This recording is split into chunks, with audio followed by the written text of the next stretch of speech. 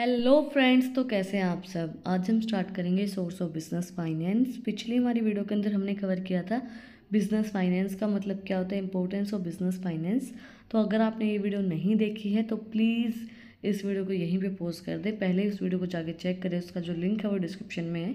अब पहले बेसिक चीज़ें जाने बिज़नेस फाइनेंस क्या होता है, इसकी इंपॉर्टेंस क्या होती है। उसके बाद आज हम स्टार्ट करेंगे सोर्स ऑफ़ बिज़नेस फाइनेंस को। बिज़नेस है various source of finance to choose from each With its advantages and considerations, here are some common sources. First was equity financing. Equity financing involves raising capital by selling ownership shares in the business. These can come from an angel investors, venture capitalists, or even through an intellectual public offerings. While equity financing does not require repayment, it means relinquishing a portion of our ownership and potential control of the business. Equity finance का मतलब क्या होता है? आप capital को बढ़ा रहे हैं अपनी जो ओनरशिप है उसको सेल करके। जो भी इक्विटी शेयर्स परचेज करता है, वो बिज़नेस का ओनर हो जाता है है ना?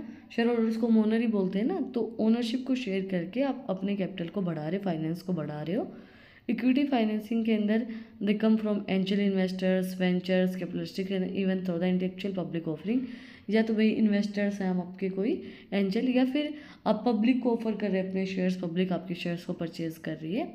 इक्विटी फाइनेंसिंग को ज़्यादा रीपेमेंट की ज़रूरत नहीं होती है। डेट फाइनेंसिंग नेक्स्ट है हमारा। Debt financing involves borrowing funds that must be repaid with interest over a specified period this can be in the form of an bank loan bonds or other debt in instruments. While it allows business to retain ownership and control, it comes with the obligation to make regular interest and the principal payments. Debt financing के अंदर आता है borrowing funds हमने कहीं से पैसा उधार ले लिया जैसे बैंक लोन बॉन्ड्स हमारे डेट इंस्ट्रूमेंट वहाँ पे हमें इंटरेस्ट पे करना पड़ता है बैंक को हमें इंटरेस्ट पे करना पड़ता है ना भाई और हम जब उधार लेते हैं तो हमें इंटरेस्ट पे करना पड़ता है तो वो चीज़ होती है डेट फाइनेंसिंग हम कहीं से पैसा उधार लेके अपने फाइनेंस को बढ़ा रहे हैं। वहाँ से पैसा आ सकता है।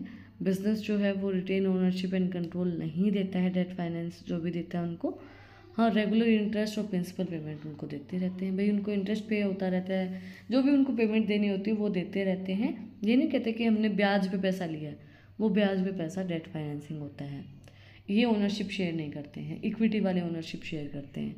नेक्स्ट है internal sources internal source of finance come from within the business this include retain earning where profit are reinvested in the company and personal savings of the business owner while internal source of independence and flexible they may not be sufficient from the large scale projects internal source of finance कहाँ से आता है? Within the business business के अंदर से ही जो हमारे retain earning होती है, जो हमारे प्रॉफिट्स होते हैं जो कंपनी के ओनर के हैं, पर्सनली जो बिज़नेस ओनर की जो सेविंग्स हैं, वही सेविंग्स जो है वो बिज़नेस ओनर वापस से इन्वेस्ट कर दे कि भाई मैं फिर से इन्वेस्ट कर देता हूँ।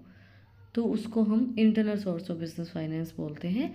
Well internal source after independence and flexible they may be sufficient large scale project जब इंटरनल सोर्स जो हैं, वो जिन, उनके पास फ्लेक्सिबल होते हैं इंडिपेंडेंट होते हैं तो उनके पास ज़्यादा सफिशेंट प्रोजेक्ट्स होते हैं बड़े बड़े प्रोजेक्ट्स होते हैं। External sources external sources involves obtaining funds from outside the business this can be including loan from financial institute investment from the external partner और government grant external sources provide additional capital but may come from condition और interest payment देखो external sources मतलब बाहर के कोई भी sources अब बाहर के सोर्सेज भाई हम बैंक से लोन ले रहे हैं फाइनेंशियल इंस्टीट्यूट से लोन ले रहे हैं, कोई भी एक्सटर्नल पार्टनर लेके आ रहे हैं, है ना? तो वो जो चीज़ें होती है, वो टर्म्स एंड कंडीशन के साथ आती है। बाहर का कोई भी इंसान कुछ देगा तो लोन लोगे तो टर्म्स एंड कंडीशन के साथ होगा। भाई आपको इंटरेस्ट पे करना पड़ेगा प्रिंसिपल्स पे करने पड़ेंगे। और अगर कोई बाहर के बंदे को इन्वॉल्व करेगा, कोई पार्टनर लेके आओगे, कोई शेयर्स किसी को दोगे इक्विटी शेयर होंगे प्रिफरेंस शेयर होंगे तो वो आएगा ओनरशिप के साथ। तो एक्सटर्नल सोर्सेज कंडीशंस के साथ आते हैं। Types of business finance understanding the various type of business finance is critical for tailoring financial strategy to the specified needs of the business. Let us explore some common types कुछ common types को हम आज explore करेंगे। वैसे बहुत ज़्यादा type है business finance के। पहला है हमारा short term finance short term finance addresses immediate financial need and typically has a repayment period of one year or less. It is often used for working capital requirements such as paying suppliers, meeting payrolls, or handling unforeseen expenses. Short term finance options include trade creditor, bank overdraft, and short term loans. देखो short term finance वो होता है देखो short term मतलब छोटे समय के लिए शॉर्ट टर्म फाइनेंस वे फाइनेंस होते हैं फाइनेंशियल जो हमें अर्जेंट में ज़रूरत नहीं पड़ती है पैसे की हम मांगते हैं ना कि भाई हमें अर्जेंटली अभी चाहिए। तो वो जो शॉर्ट टर्म फाइनेंस होते हैं, वो उसके अंदर आते हैं। उनकी रीपेमेंट भी आपको एक साल के अंदर अंदर ही करनी होती है, एक साल से नीचे नीचे ही करनी होती है।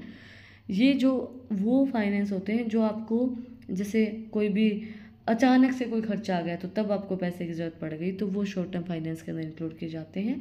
इसके अंदर आता है, जैसे शॉर्ट टर्म आपने लोन ले लिया, भाई छः महीने के अंदर मैं आपको चुका दूँगा, मुझे अभी पैसे की ज़रूरत है। तो वो सब चीज़ें शॉर्ट टर्म फाइनेंस के अंदर आती हैं। नेक्स्ट है long term finance long term finance involve securing fund from project और investment with longer time horizon usually exceeding one year this type of financing suitable for significant capital expenditure such as purchasing real estate expending production capacity और launching new products long term finance option including equity financing bonds and term loans देखो short term के अंदर one year से कम कम होता है long term के अंदर एक ईयर से ज़्यादा ही हमारे फंड्स होते हैं फाइनेंस होता है।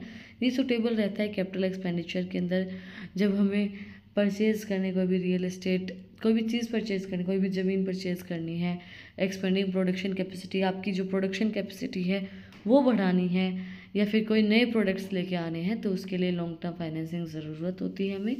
मतलब देखो, ज़्यादा मोटा खर्चा है, आपको घर बनाना है, घर लेना है तो वो जो खर्चा होता है, ये इसके ऑप्शन है हमारे इक्विटी फाइनेंसिंग इक्विटी से फाइनेंस ले बॉन्ड से ले, या फिर लोन ले लें। तो वो चीज़ हमारी लॉन्ग टर्म फाइनेंस के अंदर आती है। नेक्स्ट है internal finance internal finance is generated from within the business with external borrowings it includes retain earning where the portion of profit is reinvested in the company and depreciation fund which set aside money from replacing assets internal finance offer autonomy and flexible but may be limited in scale internal finance जैसे हमने पहले भी बात की internal finance की, जो external resources जो हमारे रिटेन अर्निंग हो गई प्रॉफिट हो गया, उसी को इन्वेस्टमेंट कर दिया री इन्वेस्टमेंट कर दी उसकी।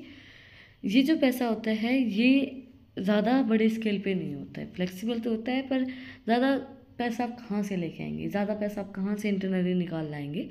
तो इंटरनल फाइनेंस जो है वो लिमिटेड स्केल ऑफ़ फाइनेंस होता है लिमिटेड इसके पास पैसा होता है। नेक्स्ट है external finance external finance involves obtaining funds from source outside the business this can include loan from financial institute investment from ventures capitalistic और public offering of stock external finance provide additional capital but may become in the interest payments and duplication of ownership और other obligations देखो आप ही सोचोगे, आप ये same same से similar से ही point है सारे। ही ये सिमिलर पॉइंट्स मैंने इसलिए करवाए हैं ताकि आपको चीज़ें समझ में आ जाए।